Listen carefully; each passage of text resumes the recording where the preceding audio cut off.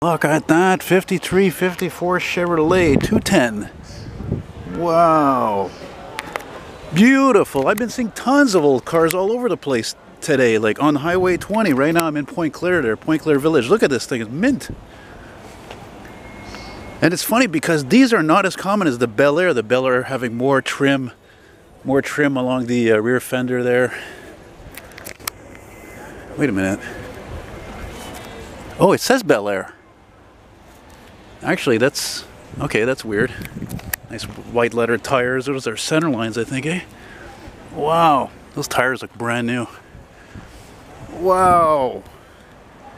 And it's funny because I was on the, I, like I said, I just got off the bus, and a, a couple of blocks down, I saw an old hardtop or convertible, and I said, and I'm like, oh, I was tired, you know, I didn't feel like getting up, and then I saw this. I said, I gotta come and film this, man, because I am a sucker for 50s car. I love 60s, 70s, 40s, but the 50s, man, nothing compares to the 50s. You know? Even if this is hot rodded, even if it is jacked up, it doesn't matter. Okay, mind you, it used to be a four door. this thing is really tricked out, man. Whoa.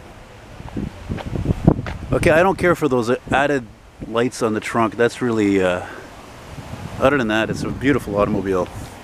Let's just get one last little view here. I would have left the, the rear door handles on there, but anyway.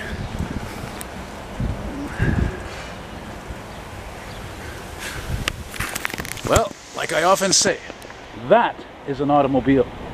That is a car. Everything else here, nothing comes close, nothing comes close to comparing. Nothing. Thanks for watching. Bye-bye.